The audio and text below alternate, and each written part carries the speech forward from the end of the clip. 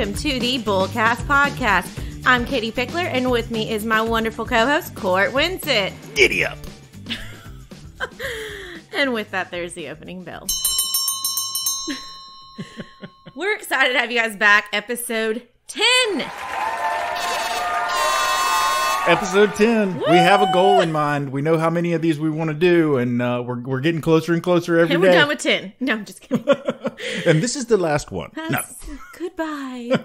no, okay. So this one we decided let's talk about financial advisor. Yeah, we've been saying, hey guys, we work at a place called Pickler Wealth Advisors. We're financial advisors, but we really haven't described what exactly a financial advisor is or does. So we figured 10 Might as well in is it. probably a good time to, to, to, to explain to you what it is that we do. I mean, you're already an expert on stocks, bonds, cash, hard assets, budgets, so you might as well at least know what we are. Yeah, so bottom line it for me, Katie. What is a what is a financial advisor? A professional who suggests and renders financial services to clients based on their financial situations. We we like to think of ourselves as your wingman. Oh, yes, your wingman, your partner in crime, that person that's there for you. Your sidekick. Yes. As it were. Guess what, guys? What we're gonna do this week for our top five is we're going to do we're going to to to list for you our top five favorite sidekicks or wingmen or whatever you want to call it, right hand man. Um, we're going to each give you five of our favorites of those from pop culture. And Katie, take it away. This was really hard. There's so many great ones out there, but uh, let, let's just start. Okay, Ducky from Pretty in Pink. Absolutely. John Hughes movies, I mean, they're just incredible. 100%. Ducky is the partner in crime, the best friend to Andy. He you you realize he's in love with her, but Absolutely. despite her going off and finding the popular good boy, he sticks by her side, he cheers her up, he's there for her, and at the end they're still best friends. So everyone needs a Ducky in their life. Yeah, yeah. Great movie. I mean, uh, what's what's what's the guy's name that she ends up with? The actor Bl- oh, I- the, the name is Blaine. I don't know the actor's Blaine. name though. What a name, Blaine. Because then the bad kind of villain guy in it ends up being in James Boston. Spader. Yeah, God, Boston Legal He plays a giant tool in that in that movie.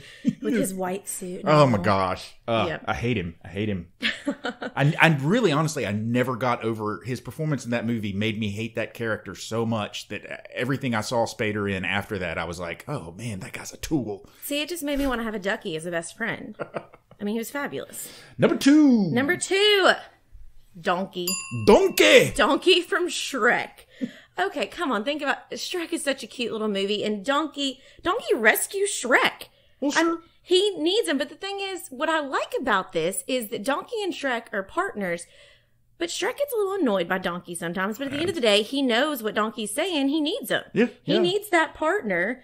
Drive them a little mad, but um, hey, you know they hang out, swap stories. In the morning, they're making waffles. making waffles. You know it. Number three, Mini Me, Mini Me. Doctor Evil, and Mini Me. Verne Troyer. Yes, which you know uh, he passed away, which is so sad. But Yeah. think about it, Doctor Evil and Mini Me. Best best duo ever. I mean, Mini Me never talked, but it was one of those. He just Doctor Evil knew he was there. He was more evil than him. He took care of his bidding for You him. complete me. You, you complete, complete They me. had rap songs together. you know when they were doing their evil, when they were in jail. So I mean that that's a good little buddy there. Having a little mini me. Fantastic. Yes. I, I approve of your list thus far. Okay, number four. This one's very close to my heart. Chewbacca. Chewbacca and Han Solo. yes. So, uh, love Chewbacca. I mean, another one who you can't really understand what he's saying to Han, but Chewie was saved out of slavery by Han Han Solo and decided to live, leave his Wookiee life for him. Did He you see Solo? Have Yes. you watched Solo? I did. Mm. But so the reason, when I met my husband the very first night, had had a couple of beverages, and across from the bar, um, the music was loud, and I was hanging out with a friend, and I decided to do the Chewbacca noise, and the music stopped at that time, and so I joked that that's how I got my husband was from my nerding out about Chewbacca. So, uh, Chewie, we're home. Thanks for the sound effect, Cam. and my last, and I know Court, you're going to challenge me on this one. Mm-hmm. Alfred and Batman.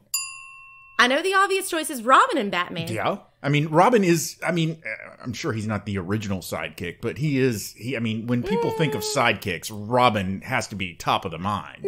No, okay. Alfred was his legal guardian. Alfred is the one who keeps his secret. He's the one who encourages him, who takes care of him when he's hurt, who makes his bat suit, who takes like he sweeps up the bat cave, like all of it. Alfred is the ultimate like godfather person taking care of Batman. He sweeps up the Batcave. I mean, maybe somebody's got to do it. Okay, when you, when you let me just ask you when you think of uh, of Alfred, which Alfred do you think of? Michael Caine. Okay, interesting. Let's hear yours. Okay, so my number one, my my number one is uh, Xander Harris from Buffy the Vampire Slayer, the series. You love your Buffy. Yes, I do love my Buffy, no question about it. And Xander is the perfect combination of of you know uh, funny and you know goofy and doofus and you know what I mean he's he's just he's great. He's great. And um there's a there's a there's an episode in season seven in the last season of the series where he explains to Dawn he he basically sums up his entire self in, in, in a in a conversation that he has with Buffy's little sister. And he basically says you know nobody ever nobody ever notices me. It's I, it's it's really hard to be the guy who is not super powered next to all of these other people who are super powered but that's that's But basically he what I obviously plays a crucial role. he's he he is there for every little bit of it. I mean and, and they couldn't they couldn't have survived without him Sounds he's like great. a great. wingman. yeah he's he's amazing. Okay my next one is kind of a stretch but uh you're gonna let me have it because I, because i insist.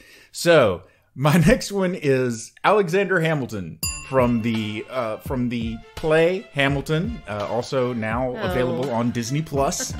and uh, the reason I say Alexander Hamilton is because as I was I was listening to the soundtrack today, and I was listening to um, For the 50th time yes, today. uh, probably the fiftieth time at least, and. Um, I was listening to I don't know I can't remember what the, the the title of the song is. It's "Here Comes the General." It's basically the song about um, uh, about, Washington that introduces George Washington. And in the song, they say, Here comes the general and his right hand man. And they're referring to Hamilton when they talk about the general and his right hand man. So I figure Hamilton. You just want to talk about Hamilton I because do. you're I do. living and breathing it We're right gonna do a whole episode about Hamilton. It's gonna be great. As a No. matter of fact, actually, you know what?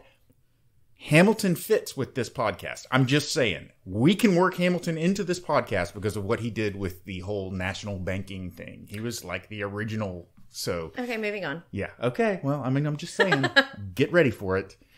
Okay. I think probably my number three is probably actually one of the most iconic sidekick slash right hand man slash wingman, whatever you want to call him, characters ever, ever, ever in the world. It's Samwise Gamgee. And I mean, I gotta agree. Yep. I mean, he, you know, he he he literally carries Frodo at points during that series. I mean, he is uh, as performed in the movie, or whether you're uh, somebody who loved the books. The the character is just he is absolutely pivotal in the quest and in the accomplishment of the quest, uh, the destruction of the One Ring. So you can't. I mean, you can't have any really definitive list of of sidekicks and not talk about Sam. Um, my number four is John Watson of Sherlock Holmes fame. Now, I specifically am referring to John Wats- Watson as played by uh, Martin Freeman in the uh, BBC series Sherlock, which was uh, very recent, you know, in the past decade that it's come out. It's an amazing series. Uh, Benedict Cumberbatch plays Sherlock. It's uh, it's modernized. It's the, the, the two of them, uh, Martin Freeman and Benedict Cumberbatch, Sherlock and Holmes, have a amazing relationship. I love it. Uh, I, I highly recommend it if you have not watched it. It's great, and add uh, it to my list. Watson is a great character. And then finally, I'm going to double up on you. I'm going to cheat and I'm going to put two people in my last spot. But I can't, I couldn't really decide which one I like more. Actually, that's not true. If I had to come down to it. I- okay, so the, the two people are, are Ron and Hermione from, from Harry Potter. And- Harry Potter. yeah, yeah. So I absolutely love them uh, as as Harry's go to people, as as his his people, and I don't really think I don't. If I had to pick, I'd go with Hermione, but I'm not gonna pick because I don't have to because I make up the rules as I go, and that's how I live. What? See, I like Bellatrix Lestrange. She was my girl. But she's a evil, and c she is I like evil people, okay? I always root for the villains. Like, why are they always the underdog? We need to flip this around. Okay, we're getting a little crazy here. Sorry about the tangent, everybody. Let's get back to financial advisors. what is a financial advisor? I mean, we gave them the the Wikipedia dictionary at the beginning, but let's really dive into that.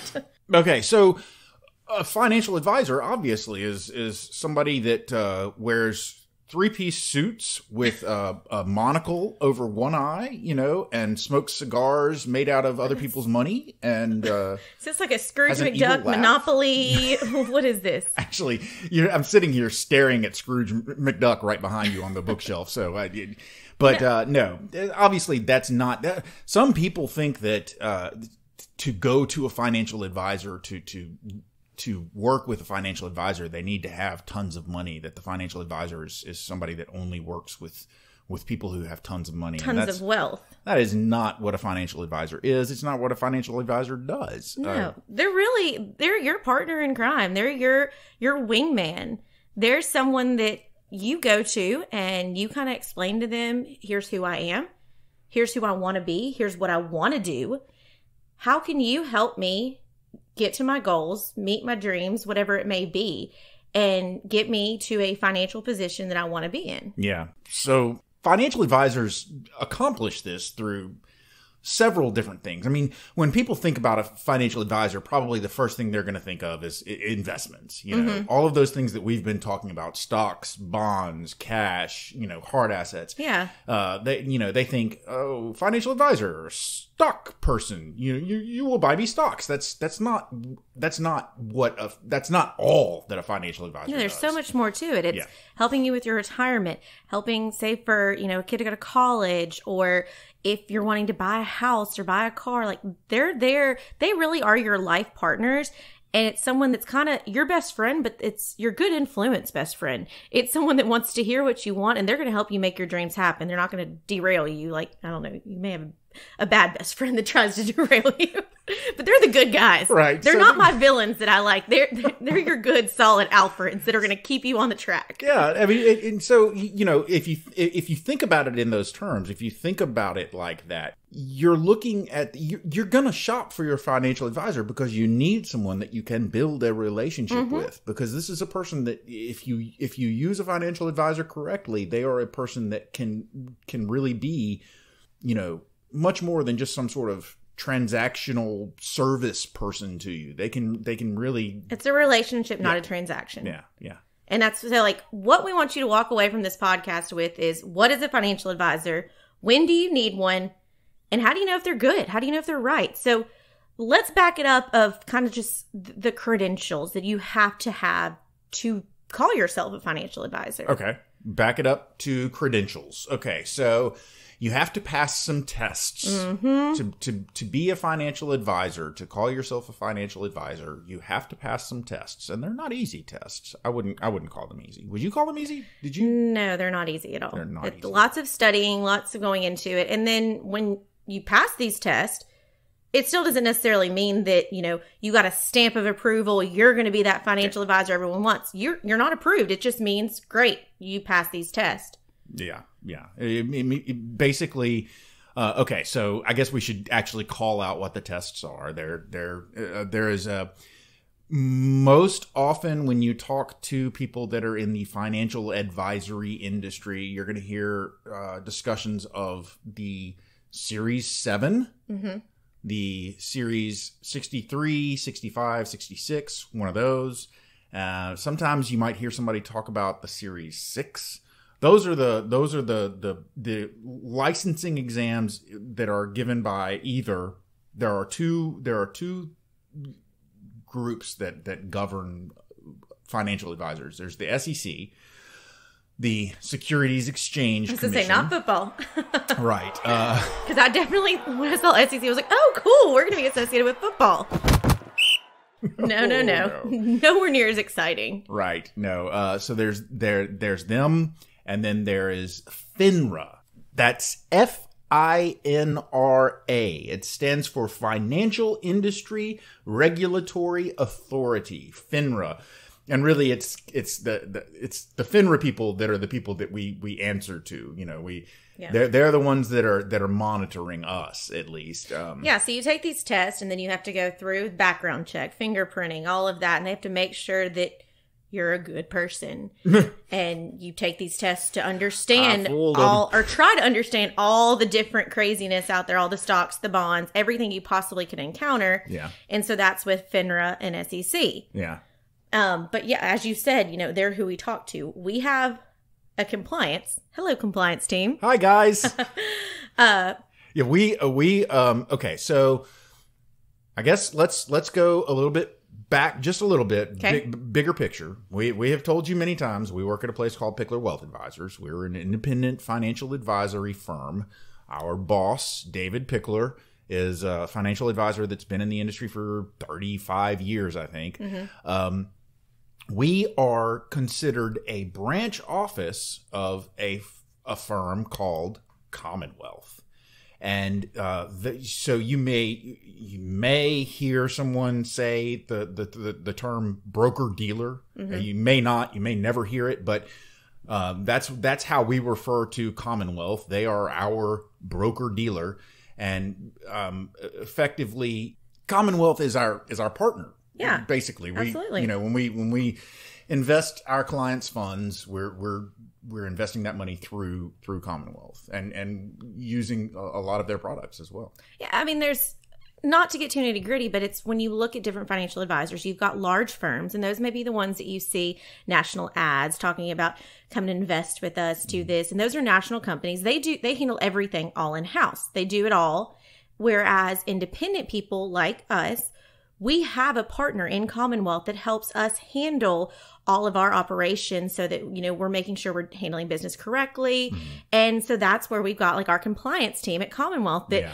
they they listen to our podcast before you guys get it and they yeah, we have that to run everything past them. So uh, somebody somebody at Commonwealth right now is, is listening to me say, "Hi, Commonwealth guys." but what that tells you is that before we say anything to you guys before we say anything to our clients like there's someone out there that's making sure that we're sending the right messages. We're not promising you anything. We're not telling you anything that's incorrect. We're trying to make sure that we're being very transparent so we can do the best for our clients. And what's interesting is, you know, we talk about these these these exams that we've that we've passed, these uh, or that we have to pass, the the the broker dealer, the Commonwealth Financial Network, Commonwealth FN, Commonwealth.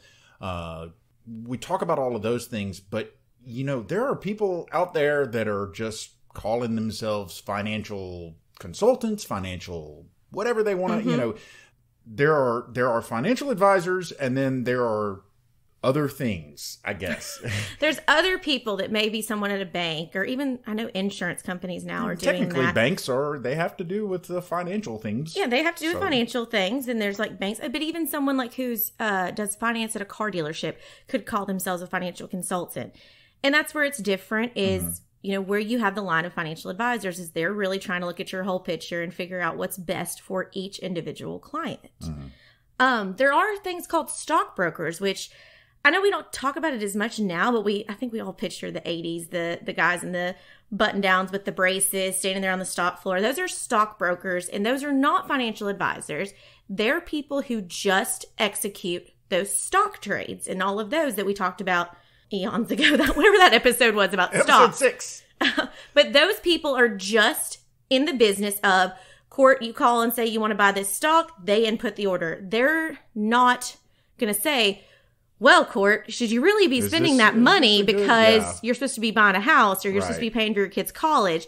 And that's where a good financial advisor really has your best interest at heart Yeah. and wants to make sure it's the best move for you. So that's kind of like what a financial advisor is. When do you need one? Um, everybody needs one. I mean, really, it, not to toot my own horn or toot our own horns, I guess, but you know, a, a financial advisor. The earlier you get with a Now. financial advisor, That's the answer Yeah, now. the earlier you get with one, the the the more they will be able to help you over the the course of your life, basically. as the way I can picture that, you think about it, you go to a doctor. Hopefully, you have a doctor. You go to a doctor every year and just to check up. You know, you may not be sick right now, but you have someone you're identified that if something goes wrong, they're there for you. They know your history, they know your blood work, they know whatever it needs to be. So, you need a financial advisor who can really look at your whole story. But if it's you need a reason, it could be a big life change.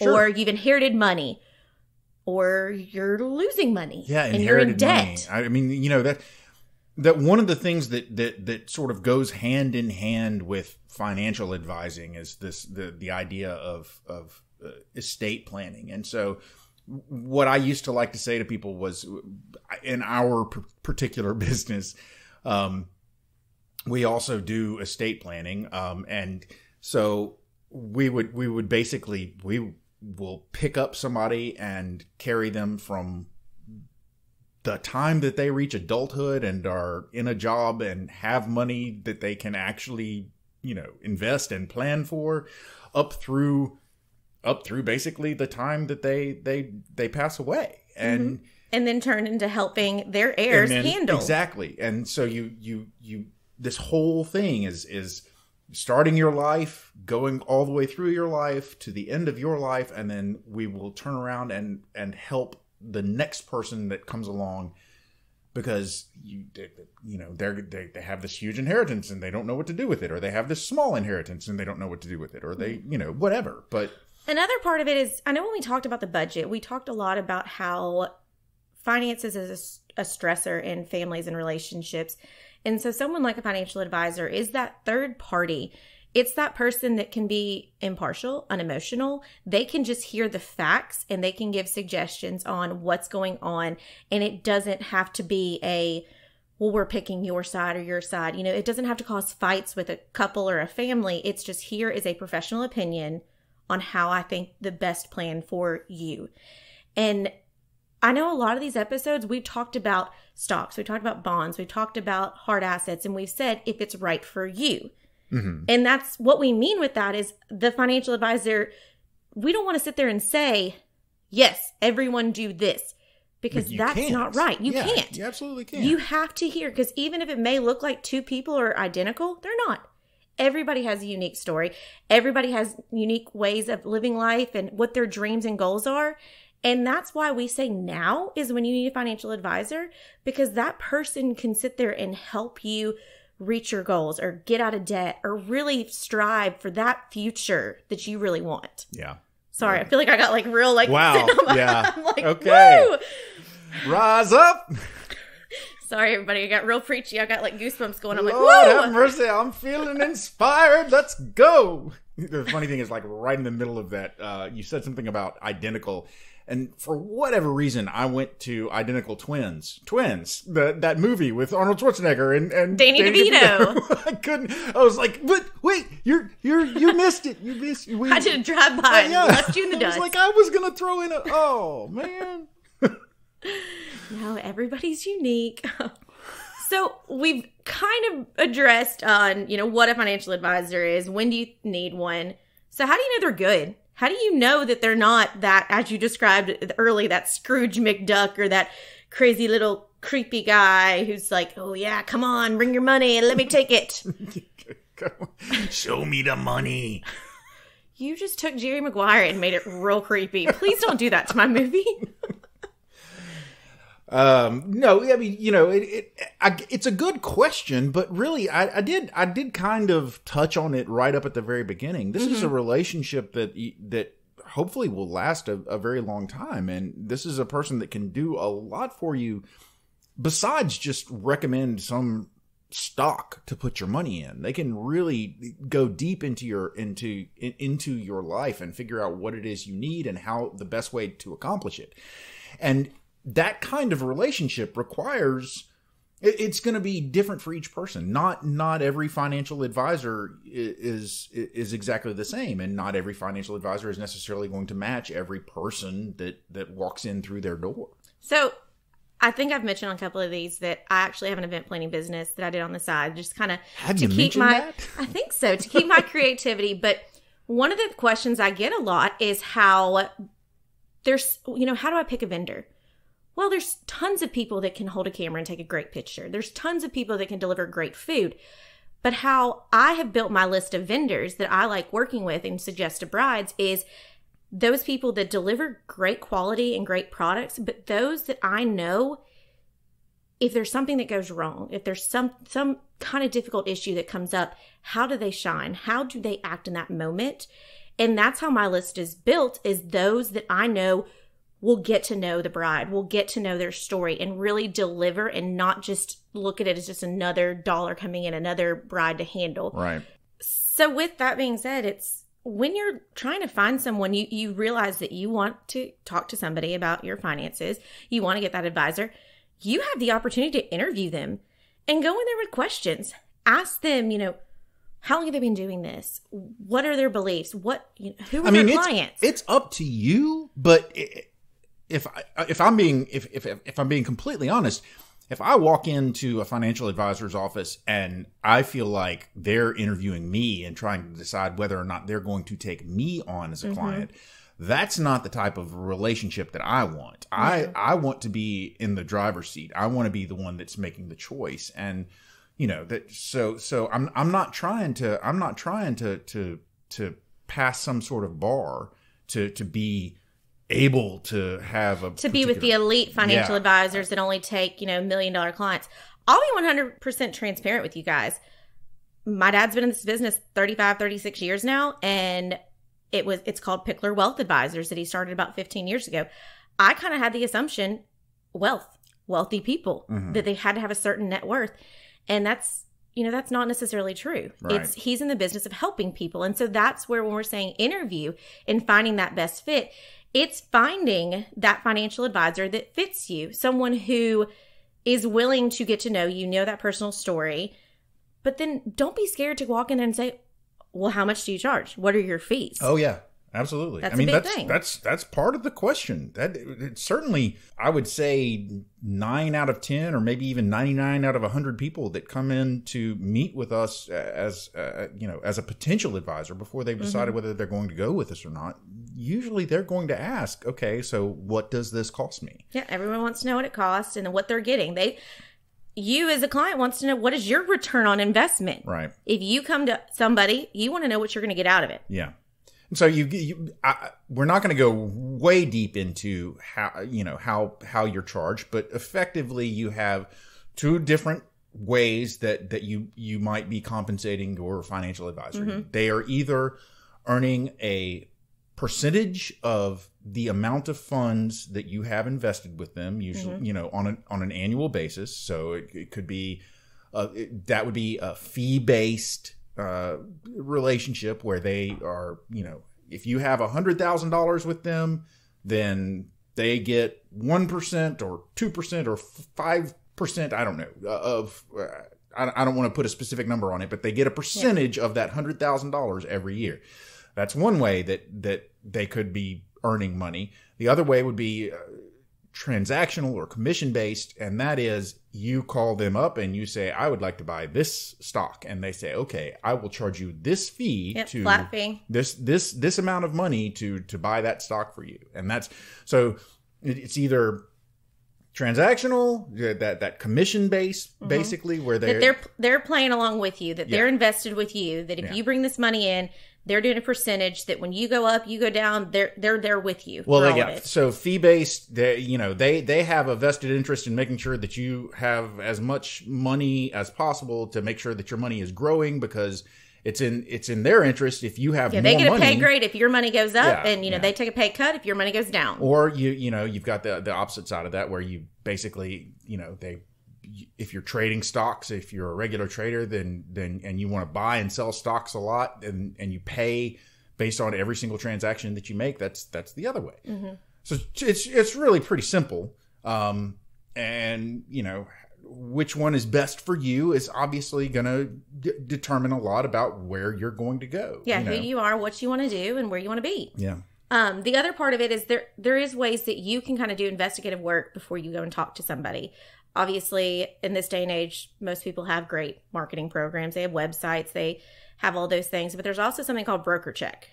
Oh yeah, yeah. Well, you remember when we were talking earlier about FINRA? Mm-hmm. Um, the the the site BrokerCheck is is is actually run by FINRA, and it's it's a site you can go to. I mean, just Google BrokerCheck or just go to brokercheck.finra.org and you can type in the name of a financial advisor that you're that you're researching, that you're Mm-hmm. investigating, and every financial advisor in the country that is licensed by FINRA is going to be on that site, and you will be able to pull up their name and see what sort of complaints they've had against them, if they've had any, if they, Yeah. you know, if how many they- tests they've taken. yeah, they how what licenses do they have? What are they actually uh, allowed to do? And um, how long they've been in the industry? How long they've worked for a particular company? You know, all of that stuff is is right there on BrokerCheck, and you can you can find out a lot about a person. Yeah, just it's by like the there. the resume for you to be able to look at it and see that financial advisor. There's their FINRA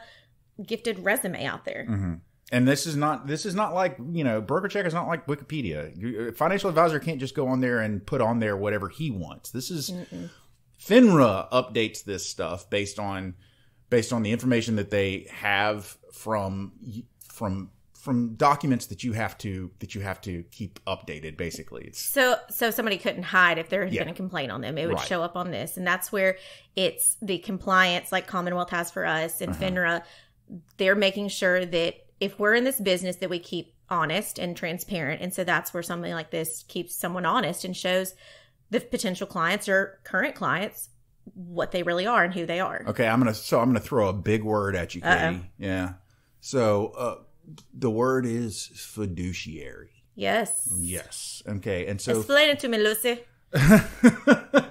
so, so fiduciary is is basically this if if we have a fiduciary okay let me back up a little bit more there is a there's a regulation called regulation bi or regulation best interest Question. Yep. uh, and basically effectively what this new regulation says to financial advisors is you have a responsibility you have a fiduciary responsibility to the your, to your clients to make sure that that the investments that you are putting them in are in their best interests um, and so uh, the word fiduciary basically means exactly what I just said. It basically, if you are if you have a fiduciary responsibility, then you have a, a an ongoing responsibility to keep the best interests of the person in mind. Yeah, so that adding to that, it's so a financial advisor, someone couldn't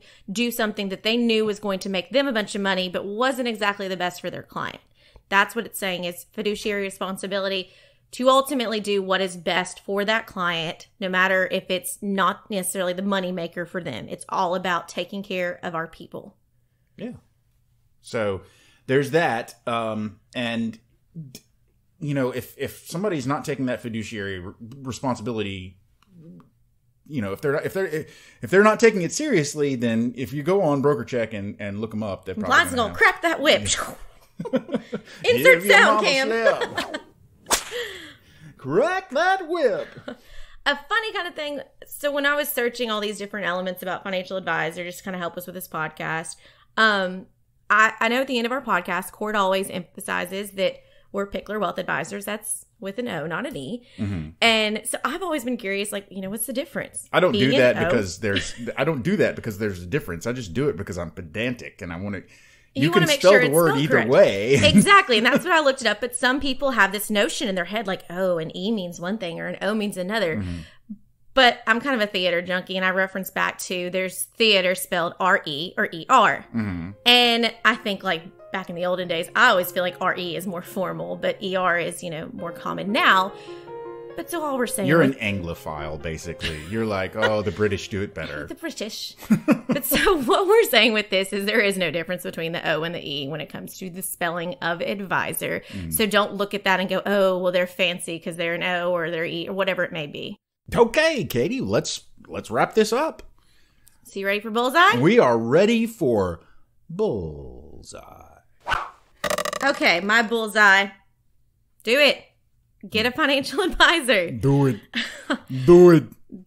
don't look at it as something that is out of your reach no matter what your financial status is because everyone defines wealth differently and so if you are interested, go and talk to somebody. But remember, you have the power. You can interview and I've make got sure the power. you can interview and figure out that it's the right person and it's a good fit for you because you want it to be your your buddy. You want it to be your person that holds you to what you want to do and what your dreams are. So find that partner, Find somebody. make the trust. investment in yourself to find someone that can help you reach your goals and dreams. Mm-hmm. Okay, that's a that's a that's a pretty good bullseye. What do I do now, Katie? You covered it all. I- Sorry. So I guess for my bullseye, I'm going to go back to we, we discussed we sort of touched on the regulation BI, and I mm-hmm. think that's I think that's sort of a, a good a good element to to to hit on, land on, finish on, and that is what is a financial advisor? Well, regulation best interest basically now says that uh, a financial advisor is someone who has a fiduciary responsibility to their clients. That is, a, a, a- they are ethically required to to maintain a level of trust. You know, it, it I don't mean to crash on your bullseye, but all I keep picturing is Jim Carrey and Liar Liar, and he had that whole wish on him that he could never tell a lie. his son wishes he can't tell a lie for his birthday. Exactly. And the pen is red. The pen is blue. the pen is oh, royal blue. Okay, so no, regulation BI is not a magic spell that that uh, makes all financial advisors unable to lie. It, it that, that you can you, that that is why it is important that you do your homework and that you research and that you talk to someone because this is a relationship of trust. This is a person who is ethically required to look out for your best interests, but you need to make sure that you trust this person that you are building this relationship with to look out for your best interests. Absolutely. Um, you want to be where you can see. Troubles are all the same. Oh, You want to go where everybody, everybody knows, knows your your name. That's my bullseye. I'm sticking to it. And Katie, there's the closing bell. Ladies and gentlemen, you have made it through episode 10. What is a financial advisor? If you'd like to find out more about me and Katie, ask us a question, give us a comment about this episode or any of our episodes, or suggest a topic for an episode that you'd like to hear, you can check out our website, which is bullcastpodcast.com. And, uh, you know, there are ways you can communicate with us there. There's also Twitter. We've got Twitter. You, Our Twitter handle is at Bullcast Podcast. Same for Instagram, at Bullcast Podcast on Instagram. And also, we've mentioned a couple of times, we work at a financial advising firm known as Pickler Wealth Advisors, and you can find out more about us and our fantastic team and our boss, David Pickler, at picklerwealthadvisors.com. That's advisors with an O. Not, Not that there's E. anything special about that. I feel like I've probably given you enough to be going on with, as I say. You've got enough to be going on with. So for now, ladies and gentlemen, I'm Court, I'm Katie. and we are out of here.